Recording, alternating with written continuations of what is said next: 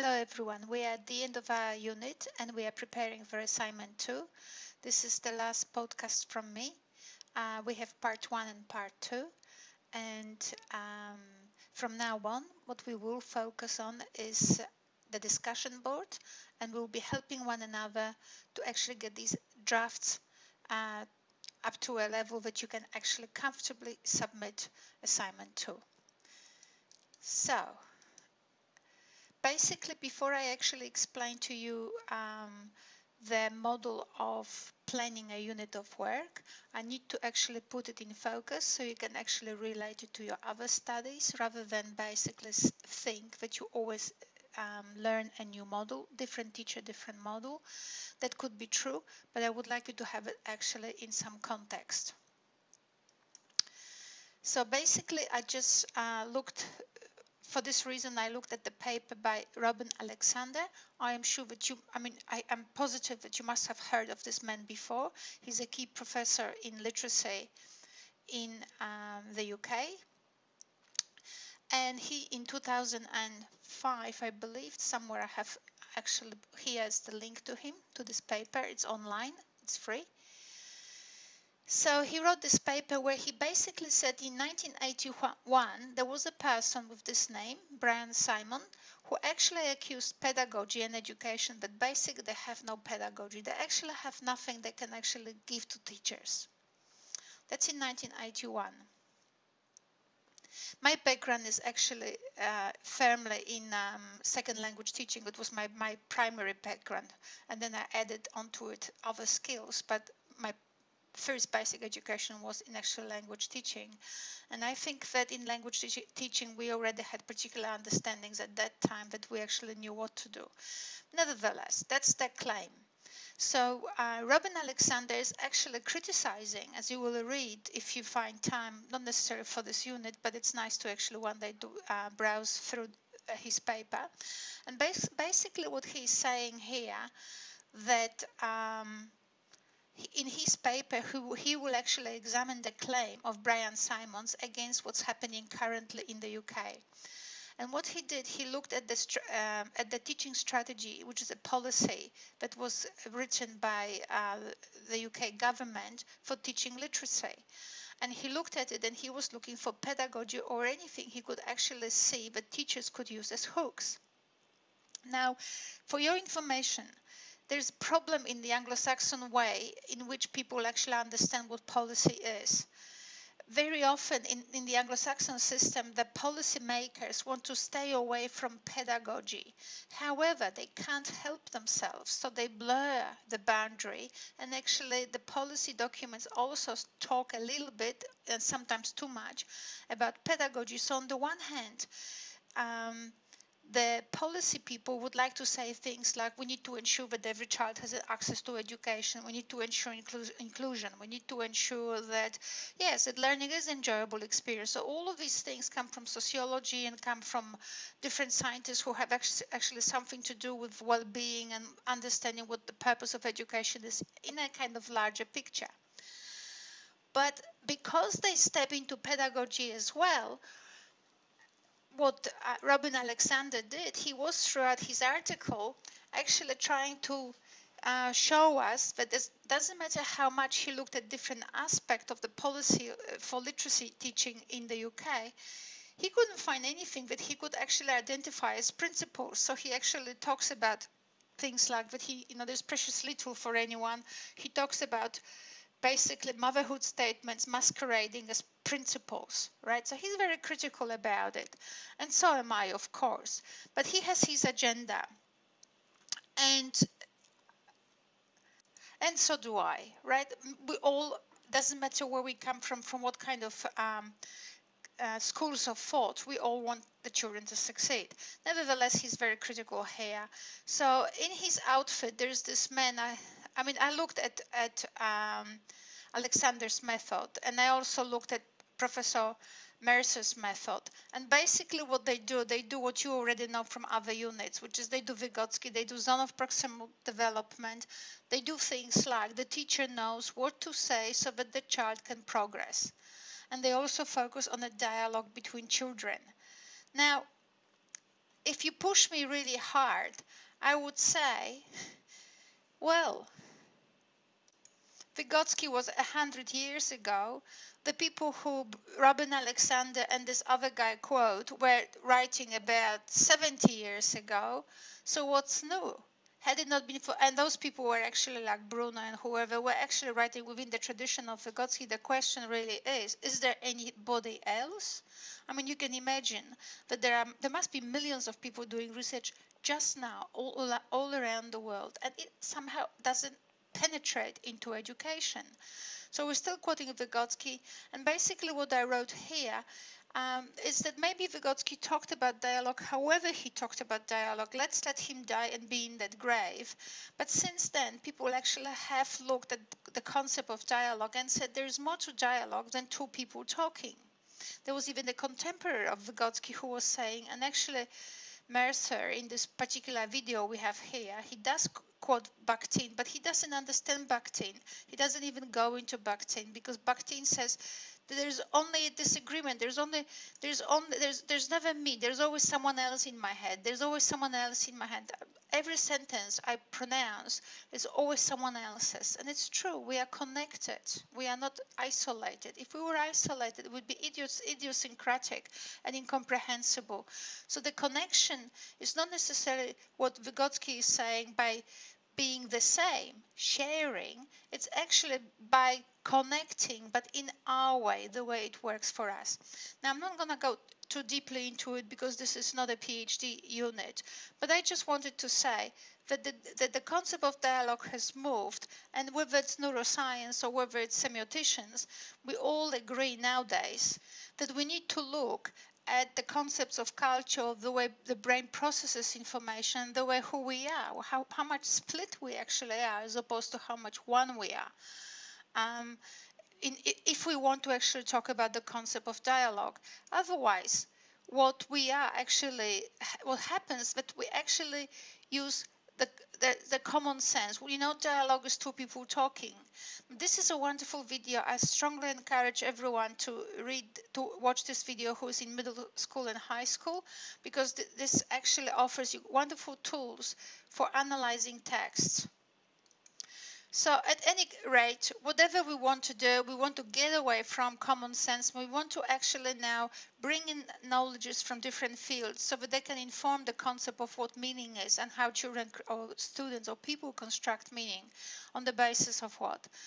So um, just to continue a little bit with the concept of dialogue, just to actually make the point, I've written a PhD on it so um, some time ago, so that's why I'm sort of uh, well um, probably placed in this area. Um, this this is what people in artificial intelligence say. Before it was easy to think that you know um, we will just create a robot and it will be just great. What they found out that, that it is much easier to teach a robot to win chess game than actually to do simple things like a rec recognize face or um, any sort of activities that have to do with perception perception is very complex. And I have already actually spoken to you about perception being complex.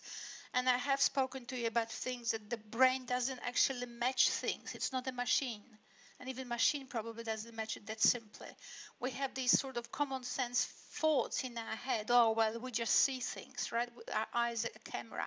Well, the, as I will repeat again, this is very important. The brain sees, connects things. The brain doesn't see things. The brain activates things, connects things. There are neurons specific for particular shapes, for particular edges, for particular contrasts. Our brain breaks the world into parts, and there is no one neuron, one, one neuron, one object perception. So this, um, I'll leave it for you to read if you want to, but basically what we have, the brain is basic, connects um, neurons and generates infinite combinations of mutually reinforcing modalities. Now, I will talk about it a little bit more just for one second because I want you to see how neuroscientists actually see the world nowadays.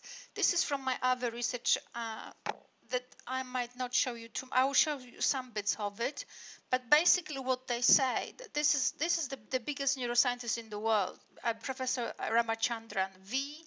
S. Ramachandran. Uh, he works in University of California. And look what he's saying. So there are particular ways in which the brain organizes information. So they're very small here because they, you know, from my own other PowerPoint I do I did for Harvard. But the thing is here, look at this, what he says. The process, the, so grouping is the process of discovering correlations, not finding them, right? There is no something to find, which is what Vygotsky wants students to do. They, he wants them, he wants to find them. They want to do match words with practices. There's no such a thing like matching. There's nothing to match. Uh, so, but he's saying what Ramachandran is saying after you know 30, 40 years of research in neuroscience, he says the process of say grouping, of organizing information, it's not about finding correlations, but discovering and discovering those which reinforce what for the organisms uh, provides incentives. It's, it's actually worthwhile right? It seems like, oh my God, that reinforces something that actually allows me to do something. So it's always strategic for the purpose. You see the purpose, like even the people from Vygotsky were saying from those days, were saying that all action is purposeful. That is true. So your perception is driven by your purpose, not by what is out there and the purpose is actually perceived according to your individual history according to your, the things that the, the, the trajectory you design for yourself as you live. So anyway any of you who would want to read all this uh, all these definitions of different ways in which the brain processes information you might. I, you've got the powerpoint and you've got this here but that's what i was really trying to say. Every look at this. The brain contra- organizes by contrast of course you do right? You, you walk into the room and if it is completely black you can't make sense out of it. But if you have a dim of light what happens you start actually generating contrast. By discarding redundant information to reinforce or allocate attention right? Because the brain cells always compete for attention because you're always in the overload so the brain goes, there will I look or there will I look? You know, so there is a lot of activity happening. And the reason why I'm pressing this so much, this point in our unit, is basically for you, not as teachers, for you not to actually, when, when you are in school, to, to get desperate, to get to um, uh, to worry that you might be a bad teacher or something. I want you to always understand that and, and we will be doing in the part two of this uh, of this video I want you to understand that children need opportunities to break down information. If the world, if the brain breaks the world into parts, we need to give the students tools to break down the things we give them to study so that they can connect the lines with color or maybe face cells of particular kind with different features you know different things they need to connect and bring together in meaningful relationships. And all, this is this, this these are brainwaves i'm just not going to go into it. The point is we need to give them tools so that they can take the complex and play with it a little bit to make sense out of it rather than us basically thinking that once we actually but we can bang it into their heads which is what direct instruction does right? We can just just put it there. And even if you do you, you will get only what you put in and the world is much more complex as the people in artificial intelligence found out. So what else do I have here? This is very interesting. This is I, I continuously talk about this individualization and this man in this particular this professor on this particular video I was watching today. I might just make this um, penguin thing a bit larger so you can see the title. And what he talks, he's a poet, but he's also a scientist. So what he's talking about is that we should, we should, we, we, we don't teach people how to be how to be part of a community. We teach them as how to have their voice, their individual voice in the communities. So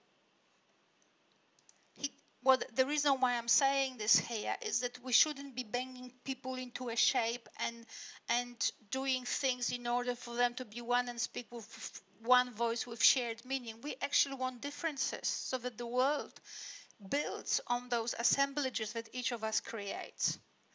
And what he's saying right to, towards the end of this video, well, he's saying that all penguins are the same, and that's the problem The penguins are all the same. They're all, you know, the perfect community with, and every penguin is a master, an expert, because all the same.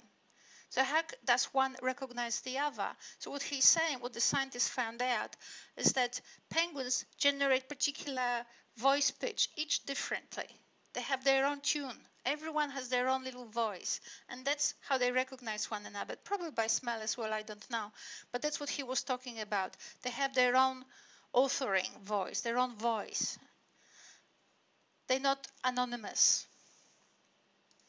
And if we talk about being literate, we don't talk about uh, because it's very it's very typical in, in education and not only but in education specifically but we just lump everyone into a bin and we want them to out at the end of the semester with a score that they got really high score and we want a high score but if we always think of them as being the same we're actually fighting nature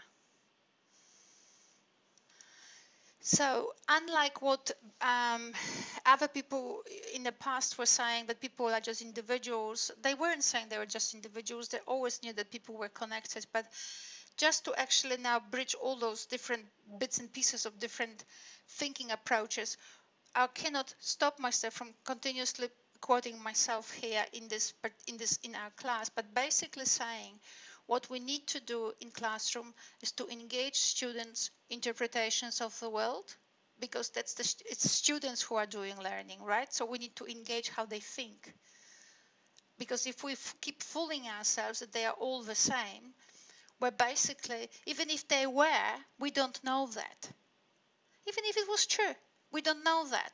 So it's a better bet to actually try to engage their interpretations of the world than to fool ourselves and say they're all the same they just need the same methodology the same questions the same processes and all you know they're just going to memorize the whole thing and we'll just bang them into shape. It's a very unsafe bet. So what i'm saying is engage their interpretations enable them to explore which is the second line here how they think and what other way, what other ways are possible to actually think of the same things differently. And they can ask themselves and explore what works for them which is the same what uh, Ramachandran was saying. The body will perceive the brain will perceive what works for the brain not what works for nobody. Um, so there and even if teachers we think oh well we got the answer we wanted very often it's a short-term short-term illusion because after some time kids don't remember because they can only overload themselves this much with a short memory. Okay, so we need to engage their own interpretations. We need to enable them to explore those interpretations. And they can explore just talking to one another, which is what Vygotsky said. Well, Vygotsky, I'm not blaming poor Vygotsky. The guy lived 100 years ago. There was a, it was a different world. Plus, he was in communism. What do we want from him? But anyway, they need to explore not by talking in classroom to each other only, because if you only have in classroom two people or seven people, that's a very miserable world, right? Very few people. Even if you have 25 children, it's still not enough. The world is bigger. We need to enable children to explore the resources of their cultural learning against many other we need to bring the world into the classroom and also take the children out of the school as well, but also bring the world. And today, when we have all these resources, all this internet, all this world everywhere, uh, we can download things, we can bring them uh, recorded on our, if, if a school doesn't allow you to use the technology in a more direct way, you can actually download things and bring them into classroom. Either way, oh my God, you have the best job in, on the planet. You're like a travel agent, right? But if you uh, and and and and everybody wants to travel. But if you locate the discussions only to the people who are in the classroom, then it, you actually limit the children. You limit their opportunities to explore. There's a particular philosopher in Canada who would say, if you bring 10 geographers into the room and all of them think that the earth is flat, what do you think will be their conclusion about the earth? And I'm saying these things because there are still these old discourses in education that say ideal situation is one-on-one. I am positive that one-on-one does something, but it's not ideal because the world is not one-on-one. If there is a magnificent monk somewhere sitting on the mountain, we don't know about him or her, he has probably very little impact on directly on our lives because we're not talking to him. It's not part of our life right? The world is not just one on one. So, you know, I'm not going to fight the idea that one-on-one is positive, but I, I certainly will, will stand for the cause that we that one-on-one cannot exhaust opportunities of learning because it would be a very, very narrow life and world that we would present to children. And also when we actually enable these explorations of students interpretations, then we, as I said last time in our in our class, we actually give them give them more uh, perspectives. We give them actually tools to build the world about to, to build a picture of the world in which they live.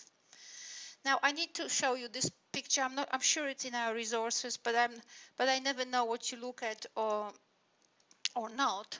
So there's this research done in University of South Australia, and what they basically did, they did the genealogy of uh, of a, a, literacy classroom in Australia, and basically that's the model. Teacher in front asking questions, basically satisfied with the answers the teacher gets. There's no exploration, there's no uh, um, in, even individualization because basically what the teacher is trying to do is to get on with the program and with the particular goals as the teacher thinks the school wants from him or her.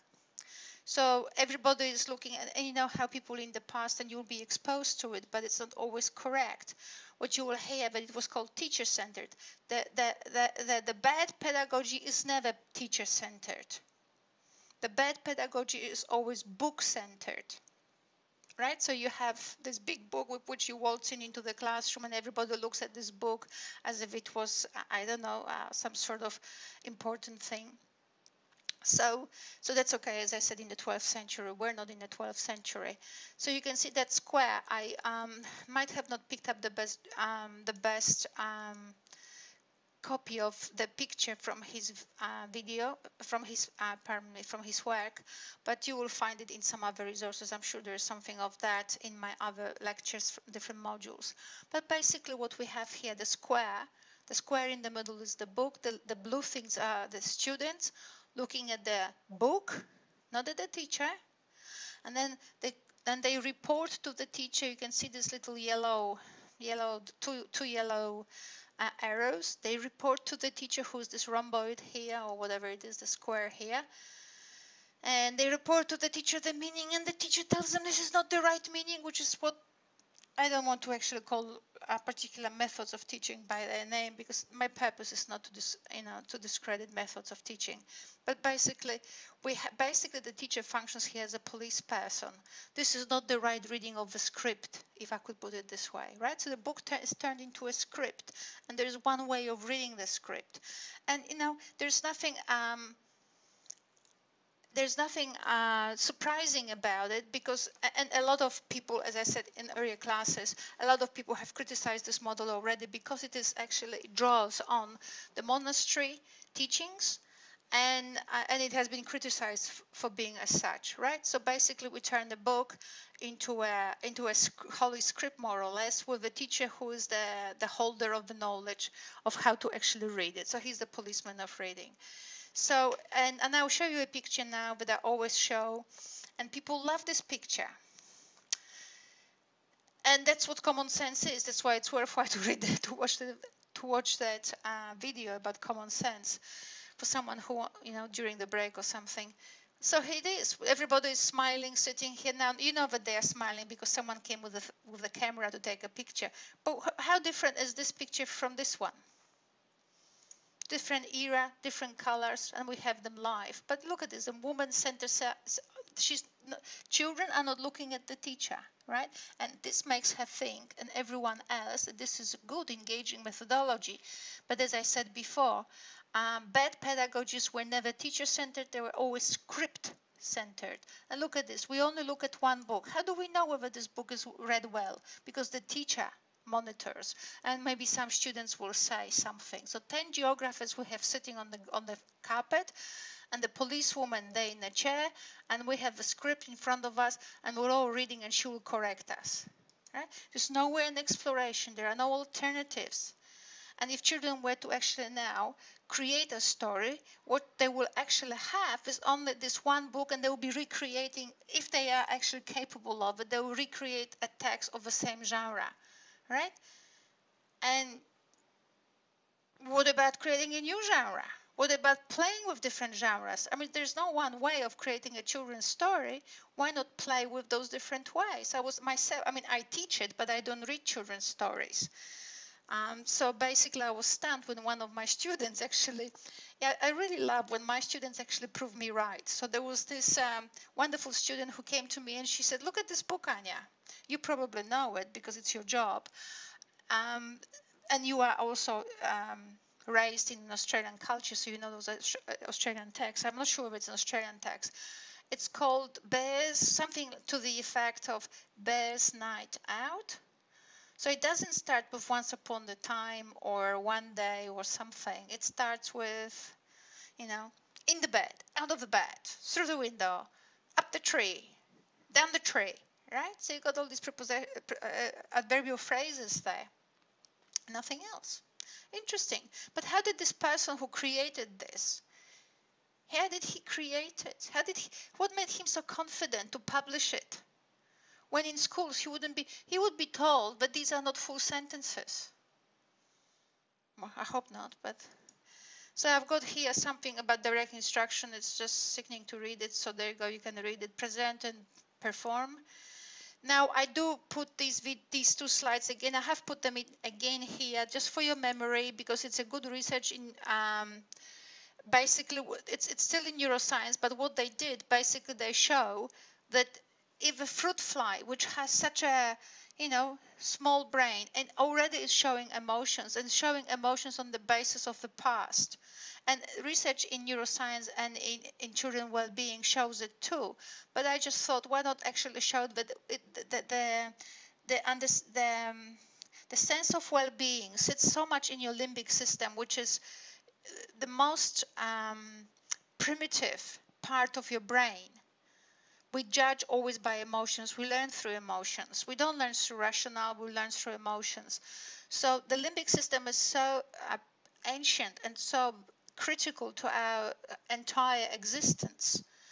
And if we create situations in classroom where whereby we just want children to talk to one another and then they you know we want these 10 geographers to talk to one another and then we want them to be I don't know Einsteins. So sometimes schools when they and I know teachers mean well because I've met a number of principals also here in Darwin and they mean really really well and they struggle also with the different policies and so on. But when we don't appreciate the fact that children are individuals and they need to actually develop their individual voice in order to actually feel worthwhile, what we might be doing is actually creating situations whereby we prove to children that uh, their own inability to actually succeed and with the fruit fly, you only took one, one, one loss. One loss. So when they put, they matched the fruit fly with another fruit fly that lost as well. So there was a miserable situation, or they didn't even fight or something, right? So what I'm saying is, uh, when people actually do not feel they are achievers, because we have because schools increasingly narrow our policies especially in the northern territory increasingly they define success increasingly narrowly. What happens we actually build a sense of inefficacy inability in, in uh, we decapacitate our students. And you can see what it will do to their well-being. We teach well-being at between 8 o'clock and 8.30 in the morning by when children read fairy tales. And then at uh, 9 a.m., we start with literacy program with direct instruction, which basically is all about achieving in narrow terms and nothing to do with interpretation, with exercising your, vo your voice and actually being respected for your own particular ways of perceiving and looking at the world. And children are still developing, so what you sometimes might see is weirdness. I had some of that as well, and a lot of my friends had. So there are particular inability, like I didn't have particular digestive enzyme. I grew out of that.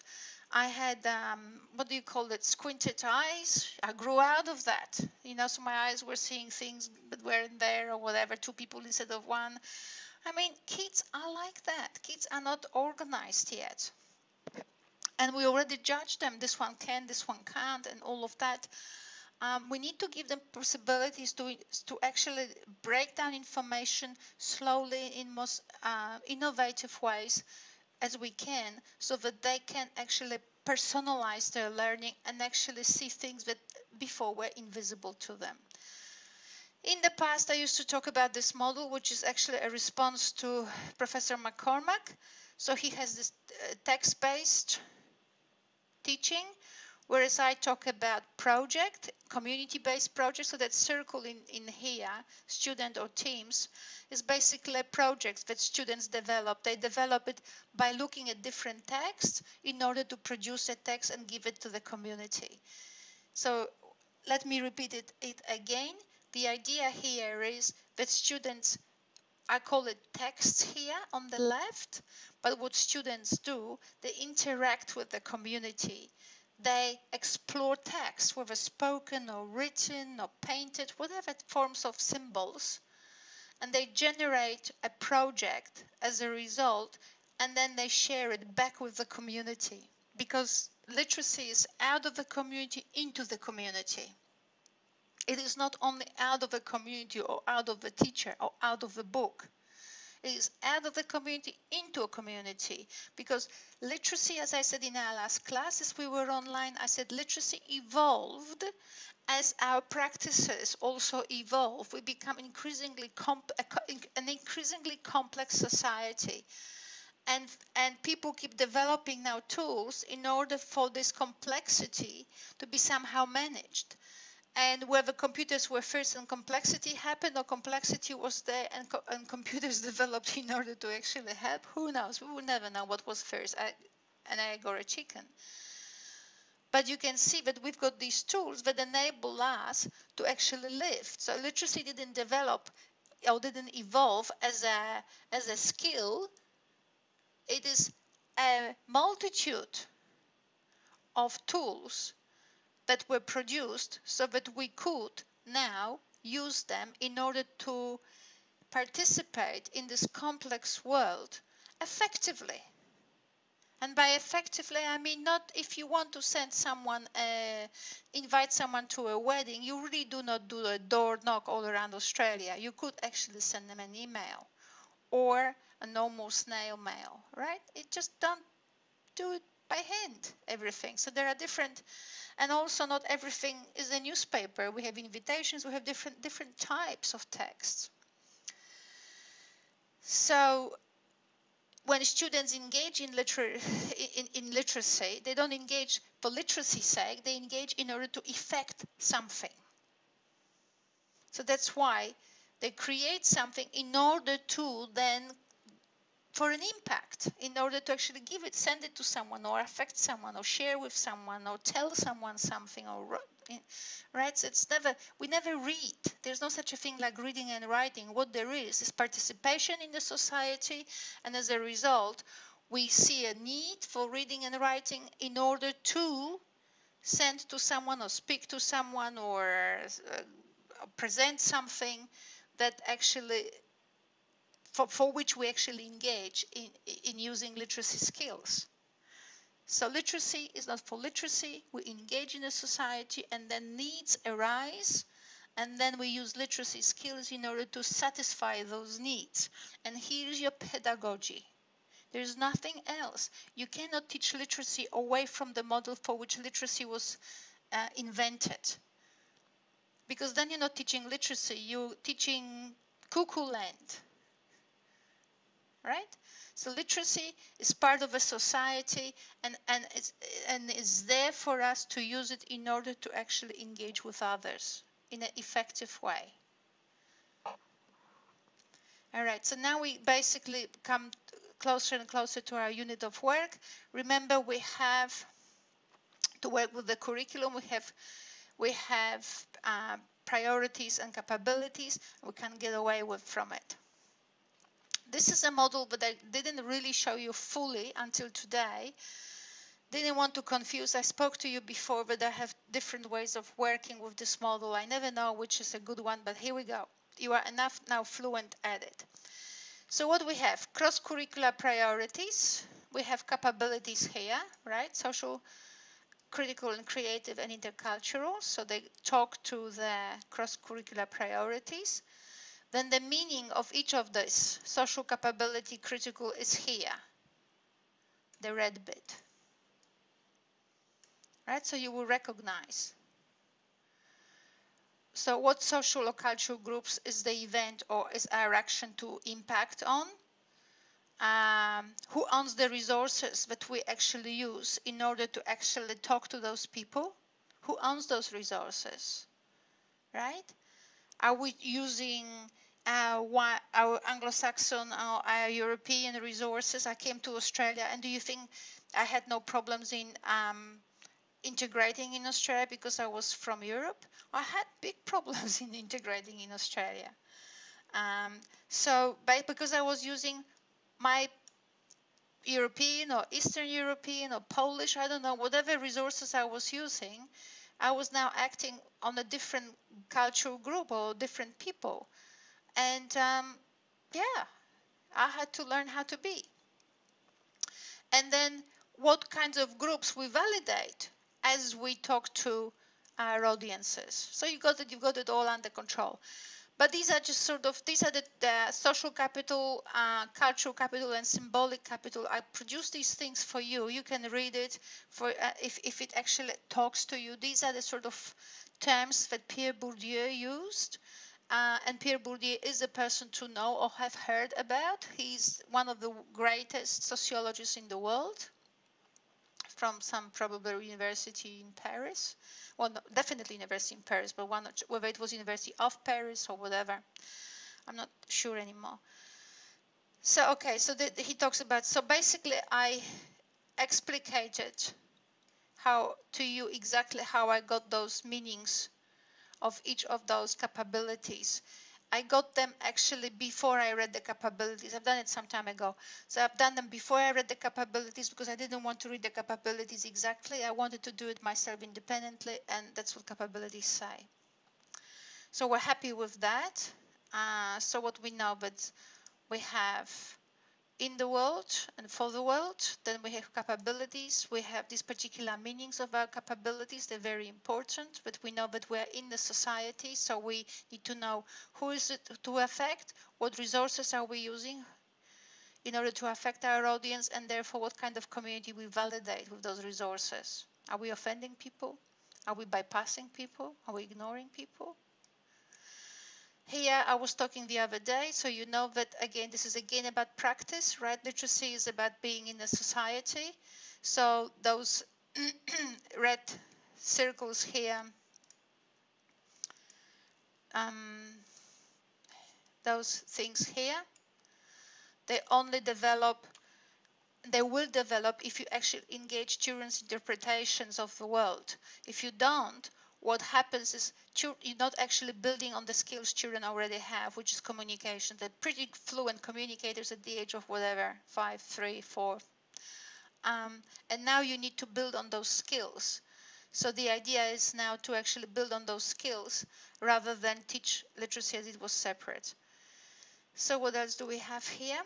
Okay, so in part two now, when we will be talking about how to design a unit of work, we will look at um, the concept of dialogue. We'll go on with the concept of dialogue, but not as a concept of dialogue in terms of two people talking, but as a dialogue is a process of evaluation.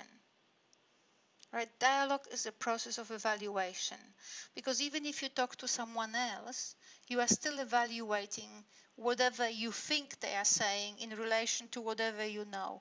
So basically, learning always happens in your head and in relation to the to the way you understood whatever happens around. So you're doing all the evaluation in your own head. We could say, in a manner of speaking, we're always talking to ourselves. And just before I finish this very interesting research, just to, I mean, we know that, we know that, we know that, right? We're, we're 21st century people, we kind of know it. But what's really funny, and you, you might have seen it on television, you might have not seen it, they've done research on people and uh, in, in neuroscience, and what happens, you can actually switch off people's hemispheres. And when you switch off, some, when you only talk to someone's right hemisphere, and you ask them, what would you like to be when you grow up? And they will say to you, a pilot. And when you talk to the other hemisphere, once the other one is switched off, they will say um, train driver or um, sleep, um, I mean cleaner, sweeper, a cleaner, or um, I don't know, something really totally that your mother wouldn't want you to do, right? Something like, you know what I'm saying. It's very funny how we actually, even inside of us, we have these two people, minimum, minimum. Not to mention all these other neuron cells and cells that we haven't even, 90% of the brain has not even been studied yet. So we've got so many people in our heads, and every thought is, comes always with someone else because someone else said it to us and we've seen it somewhere else. So we've got so many people in our heads. This dialogue is ongoing, continuous, and it is about evaluation. So it's not about talking, it's about evaluation. So dialogue is evaluation. And in that sense, if we conceptualize dialogue as evaluation, we no longer have a problem how many people have to be there. But we do have a problem if we say, well, if your evaluation is based uh, on uh, the process, you use the process whereby you actually have very few uh, you, you made very few considerations. There was not much evaluation actually happening. Then we know it was poor, right? And that's why, let me re-emphasize again, one-on-one -on -one teaching might be good for something, but honestly, it will never be an ideal uh, uh, environment for teaching because what happens, we actually reduce evaluation opportunities in this case. Okay, we need people around us. Okay, so now we move to part two. Thank you.